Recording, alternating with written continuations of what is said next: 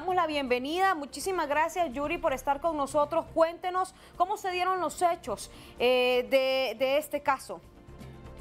Muy buenos días, Jackie y Aldo. Pues eh, el día de ayer, específicamente a las 12 de la noche, la Policía Militar del Orden Público capturó a la señora Rocío Tábora, específicamente en la frontera del Guasaule. Esto como parte del seguimiento que se le venía dando por parte de los fiscales que están llevando a cabo eh, estas investigaciones eh, relacionadas con lo que es eh, los hospitales móviles y el requerimiento fiscal que justamente se presentó la semana anterior, en donde se acusó a la señora Rocío Tábora y a otros exfuncionarios. Es así que una vez que fue capturada, pues se trasladó de inmediato a la capital y en este momento se encuentra en el Core 7. La señora Rocío Tábora fue detenida pretendiendo ingresar a Nicaragua, licenciado Mora. Estaba justamente en la frontera, eran las 12 de la noche y se le dio la captura. Y ahora, actualmente, cuando son las 7 de la mañana con 8 minutos, ¿dónde está la exsecretaria de Finanzas? Está en el Core 7.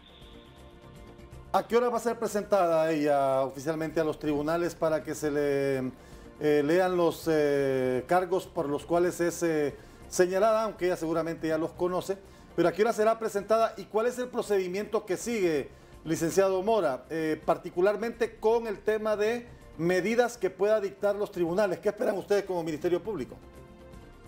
La audiencia de declaración alto será entre las 2 y 3 de la tarde ante el juez que conoce de este requerimiento fiscal.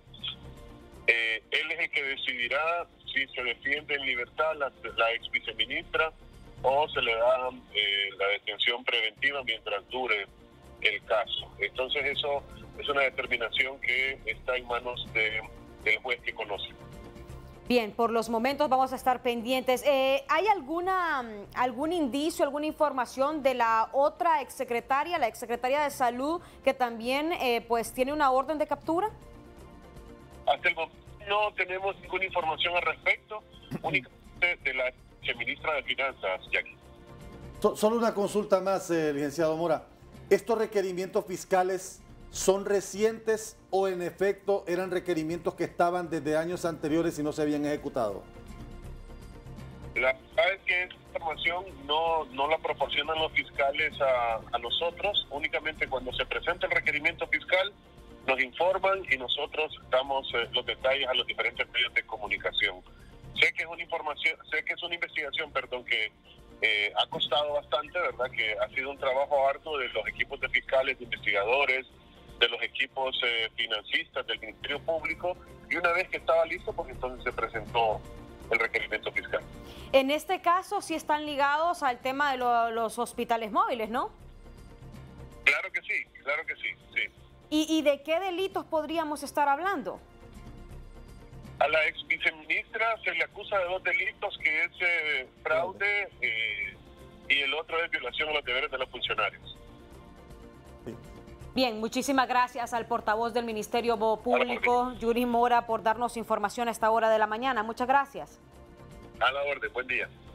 Buen día, muchas gracias. Muchas gracias al Ministerio Público. Desde temprano ha estado dando, licenciado Aldo, información sobre este caso. Aún se desconoce dónde está la otra ministra, la de Salud, doña Alba Consuelo eh, Flores, porque recordemos que tienen que ver con el, tema de la compra de los hospitales móviles y ella tuvo mucho que ver en esto. En el caso de eh, la señora Rocío Tábora, el parte policial dice que el delito es fraude aunque el licenciado Mora nos ha dicho que también se agrega de violación